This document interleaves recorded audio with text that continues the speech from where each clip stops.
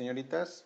Mi nombre es Ezequiel Vega Ruiz y les voy a impartir la materia de taller de Cisco. Esta materia eh, es el complemento de la que ustedes vieron en interconexión de redes.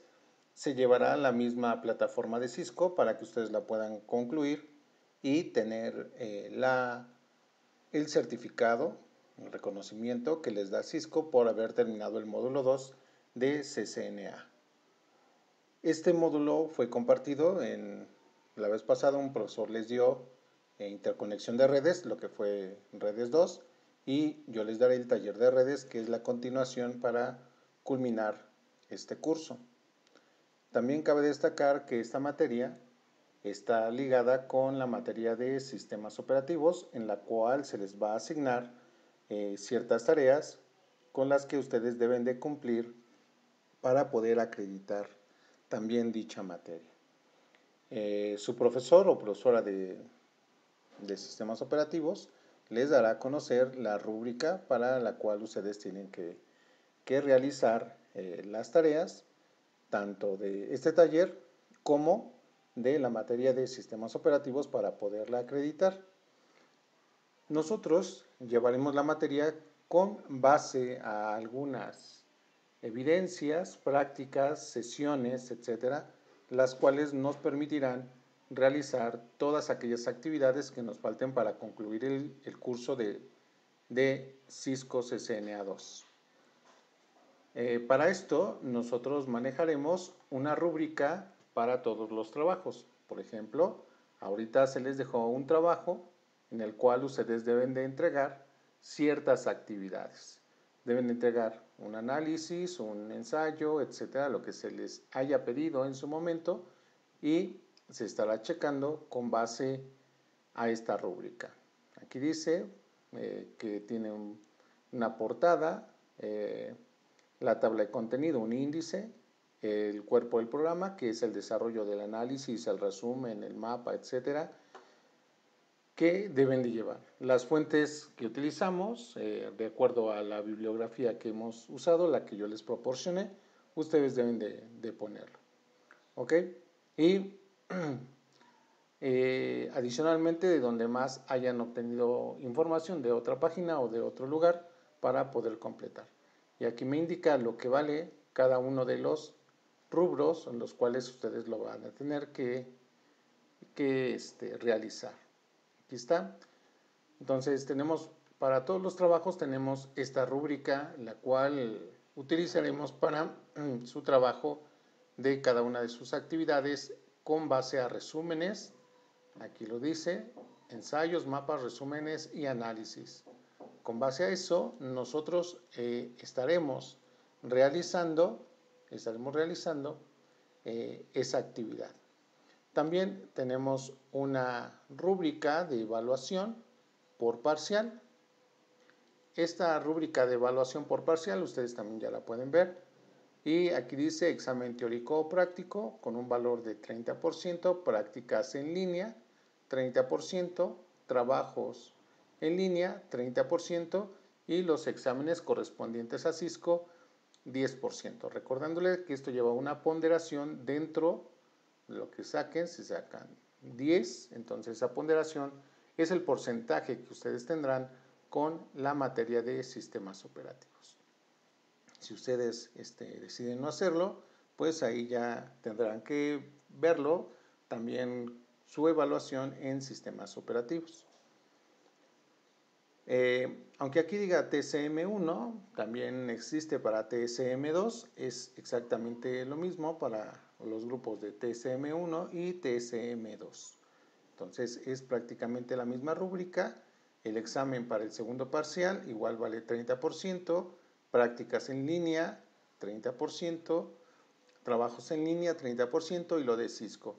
Y así sucesivamente hasta que nosotros eh, podamos terminar el, curso de CCNA2, que es el complemento en el taller de Cisco. Ahora bien, también tenemos una lista de cotejo para actividades prácticas, aunque diga aquí TCM1, también incluye a TCM2.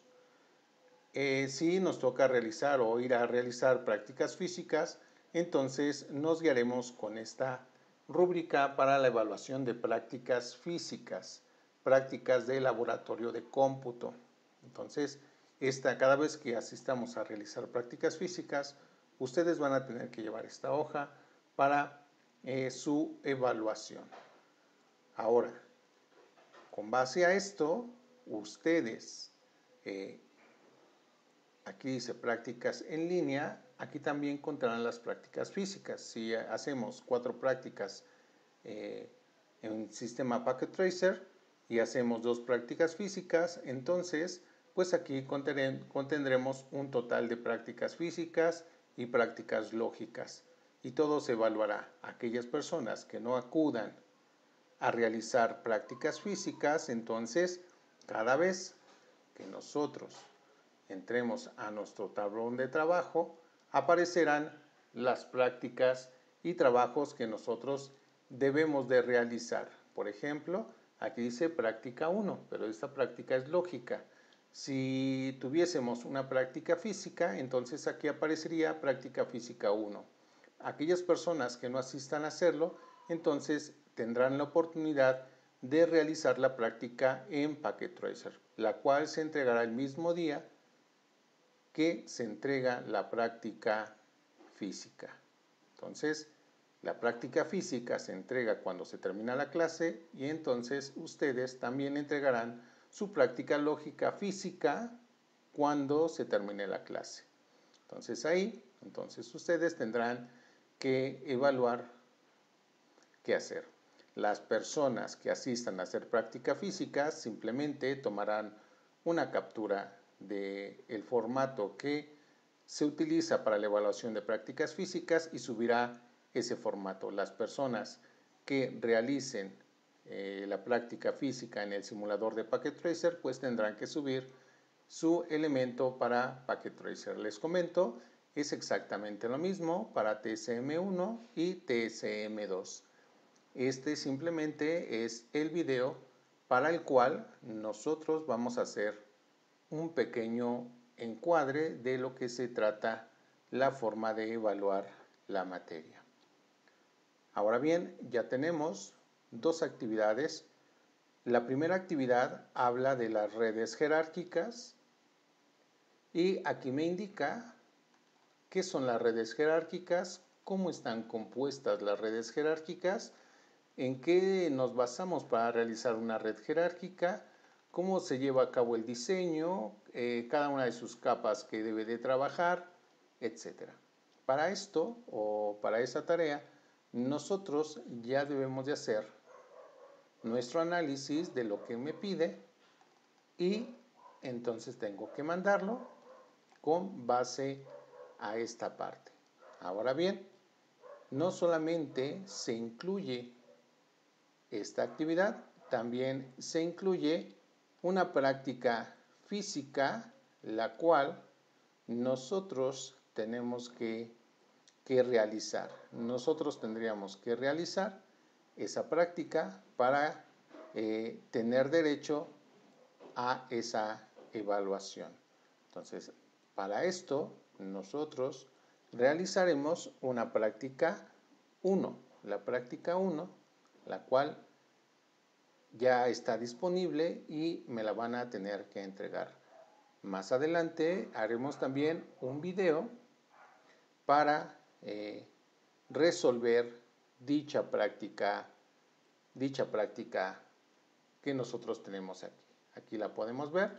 Esta es la práctica que tendremos que hacer, que incluye cálculos, configuraciones, etcétera. Modo servidor, modo cliente, todo ya con base a lo que son redes jerárquicas, nosotros tendremos que hacer una práctica con base a esto. Ahora, ¿por qué se está realizando este video? El video se está realizando porque yo, el día que nos toque a nosotros clase, asistiré a realizar práctica física con algunos de sus compañeros. Los días que yo no pueda asistir a la clase como los días lunes o los días martes, que haré haré un video y en donde veremos las prácticas o veremos la clase que corresponda. Para eso grabaré los videos y los subiré y todos tendrán o tendrán que entrar al canal que puse en el material didáctico. Todo lo publico en el muro de eh, la sesión de la clase para que ustedes estén al pendiente. Ahí vamos a publicar todo, ¿ok? Muy bien. Entonces, con base a esto, nosotros, esa es la forma de evaluar, nosotros trabajaremos de esa forma, estaremos trabajando así durante todo el cuatrimestre. Haremos teórica, haremos práctica, haremos exámenes de Cisco, haremos exámenes para la evaluación y ustedes tendrán que cumplir correctamente para obtener su certificado, en este caso el reconocimiento que da CCNA y acreditar la materia. Yo me encargaré de pasarle las calificaciones, así como las asistencias, a sus profesores y ustedes ya tendrán eh, ese acceso. ¿Ok? Muy bien, jóvenes, sigan pasando un excelente día y nos vemos la siguiente sesión.